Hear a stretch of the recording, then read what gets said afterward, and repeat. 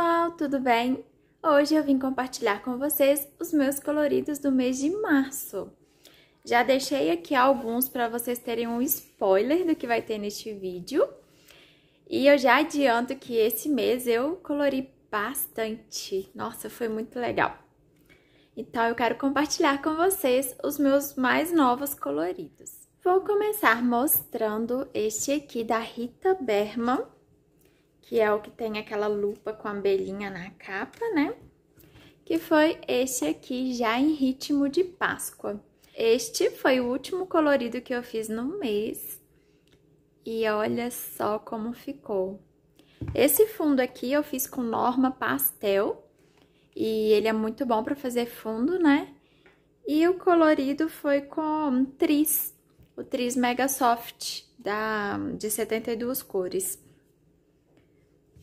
Também da Rita, teve um outro, que foi deste livro aqui, que é da Primavera. Eu amo esse livro. E foi este aqui. Eu até postei lá no Instagram, quem me acompanha lá já viu. E eu também amei o resultado final. Eu fiz o fundo com aquele efeito cascata, com lápis tom pastel. E fiz ele todo em tom pastel também, quase todo, né? Eu quis fazer uns detalhes que chamassem atenção e eu achei que super combinou. Agora eu vou compartilhar um colorido deste livro aqui, que é um dos mais novos que chegaram para minha coleção. Ele é muito fofinho, já tem review dele aqui no canal. E eu fiz também um no ritmo de Páscoa. Colori um bem fofinho com ovinhos de Páscoa, coelhinho. E olha só como ficou o resultado final. Eu usei aqui o Super Soft e acho que o Prismacolor. Acho que eu fiz uma mescla dos dois. E aqui eu usei lápis neon. O fundo foi com lápis de cor tom pastel também. Eu fiz aqui um sol com uma bordinha dourada, olha só que charme. E a asinha aqui da minha fadinha tá toda brilhosa com caneta glitter. Amei o resultado final e eu amei esse livro, ele é muito fofinho, gente. Um outro foi do Nice Little Town 6.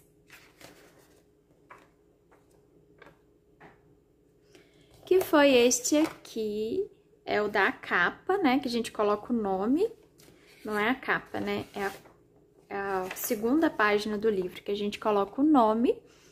Eu fiz aqui, um, eu colori com Super Soft, fiz o fundo aquarelado com aquarela de pastilha e fiz a borda aqui, ó, com caneta posca preta.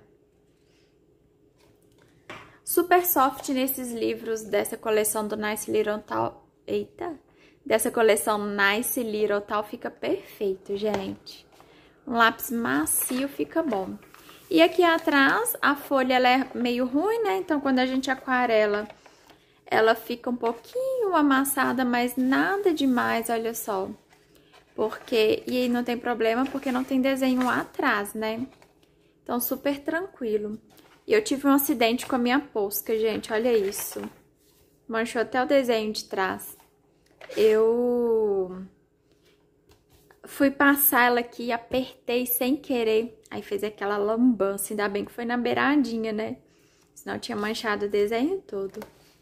Mas tá bom. Agora eu vou mostrar um do Fire Tales, que eu amo esse livro, que foi este aqui. Gente, eu amei esse colorido. Eu comecei fazendo uma mistura de cores aqui e no final ficou super legal. Eu amei. Eu colori com Prismacolor. E ficou assim. O fundo eu aquarelei com aquele lápis da Stadler, lápis aquarelável, né, da Stadler. E aqui eu fiz com Super Soft, esse, esse fundo aqui de baixo. O resto foi com o Prismacolor. Amei demais o resultado final. E a página de trás não fica amassada, não fica enrugada, nem nada. Pode aquarelar tranquilo esse livro. Amei. Um outro colorido foi dessa fofura de livro aqui, que é da Miki Takei, que é o Color, Colors Make You Happy, né? Aquela coleção que tem três livros, cada um mais lindo que o outro. E eu estava louca para fazer este desenho, colorir, né? Estava muito querendo fazer, mas estava sem inspiração. E aí me deu, eu tava folheando o livro, me deu vontade, eu fiz. o fundo preto, é, eu fiz esse fundo preto com lápis de cor, foi o lápis de cor da Faber-Castell, se não me engano. E o colorido foi com os lápis de cor da Atriz e Super Soft. Eu fiz uma mescla dos dois. Outro que eu também amei, gente. Ai, eu fiquei apaixonada com esse colorido. Aqui eu aquarelei o fundo e a parte da árvore aqui, do mato, da graminha. E a página de trás tá perfeita. Não teve problema nenhum também, ó. Então, super tranquilo.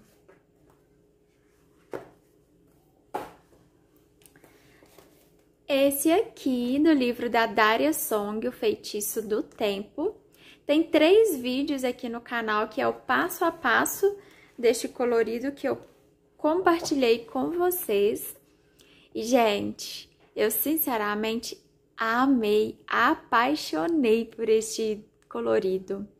Nossa, já tinha muito tempo que eu queria fazer eu amei colorir este aqui com vocês, gente. Nossa, foi muito legal compartilhar com vocês. Fiquei feliz que teve gente que reproduziu, né? E eu fiquei muito, muito feliz, tanto com o resultado final quanto com a companhia de vocês, né?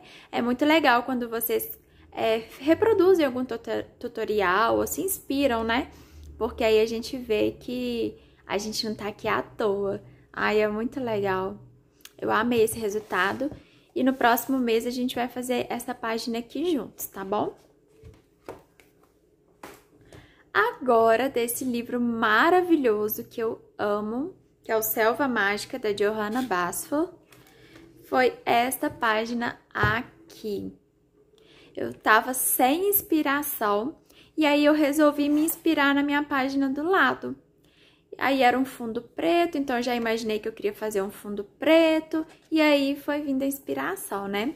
Essa página do lado eu fiz, vocês podem ver que o fundo preto tá todo manchado, né?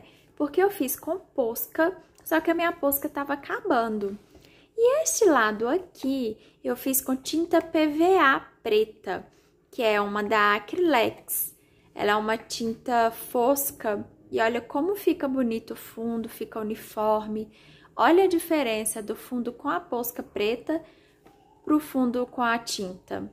Que perfeito que fica. Então, eu amei também o resultado. Essa, essa parte laranja aqui, eu fiz com os lápis laranja e amarelo de tom pastel da Assis, aquela caixinha da Assis Creatic. Então, eu fiz o fundo com eles e colori aqui também com tris. Tinha muito tempo que eu não usava tris, então esse mês eu resolvi usar em vários coloridos.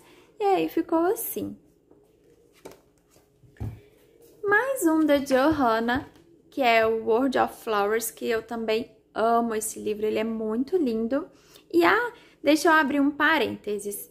Toda vez que vocês veem essas capinhas aqui nos meus livros, vocês me perguntam onde eu fiz onde eu comprei, né? É uma amiga aqui de BH que fez pra mim, mas eu acho que ela não faz pra vender. Mas eu vou indicar pra vocês a dona Trivida. Ela tem um Instagram e lá vocês podem encomendar essas capinhas aqui, ó, que, que ela vende, tá bom? E é muito bom para proteger nossos livros, né? E o colorido deste mês foi este aqui. Meu livro tá todo despencado, gente. Ai, meu Deus.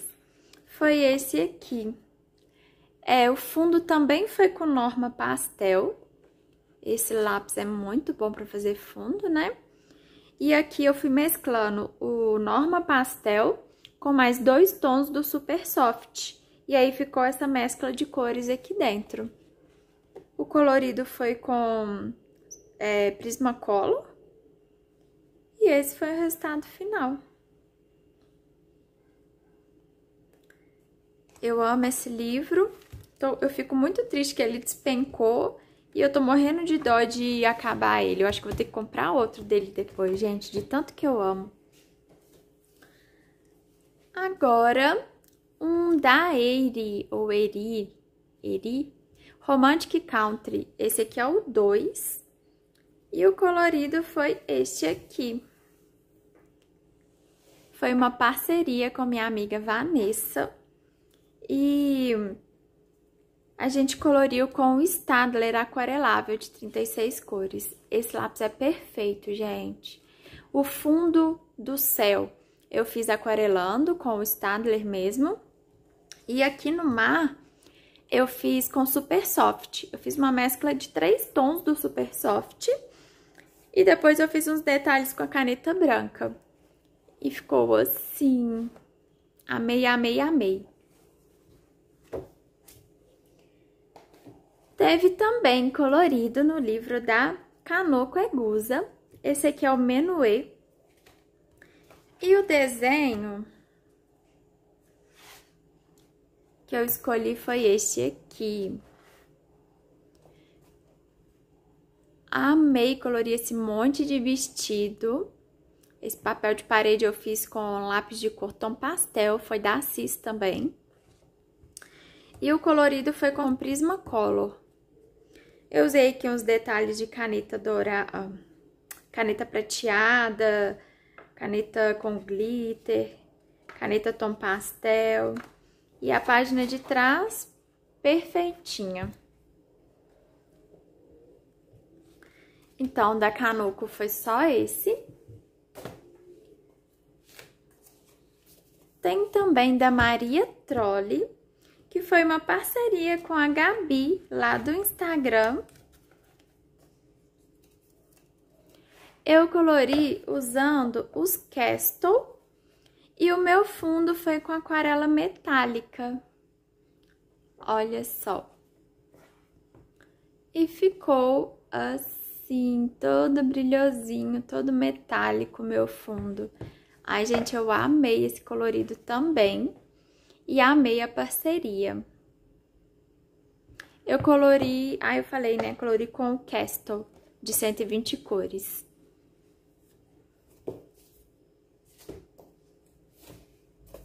Da Hannah foi este livro aqui, o Spirit Animals. E o desenho que eu escolhi foi esse aqui eu também apaixonei. Eu não sou muito de usar vermelho, né? Tons de vermelho um colorido, é muito raro.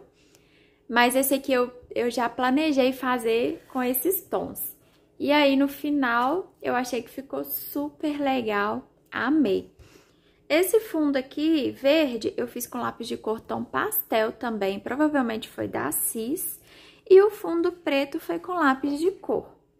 Também. Eu amei fazer fundo preto esse mês, né? Acho que já foram três.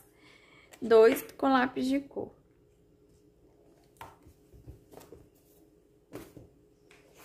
Tá acabando, viu, gente?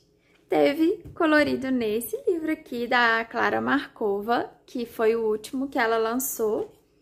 E foram dois coloridos. O primeiro foi este aqui, que foi uma parceria com a minha amiga Karina. E eu amei fazer esse fundo. É, foi com Prismacolor que eu fiz o fundo. A Karina me chamou de doida, mas como o espaço era pequeno, não achei que fosse gastar muito. E não gastou muito. Mas ficou super legal, achei que super valeu a pena. O colorido todo foi com Prismacolor, inclusive o fundo. Aliás, exceção daqui de baixo, que eu aquarelei.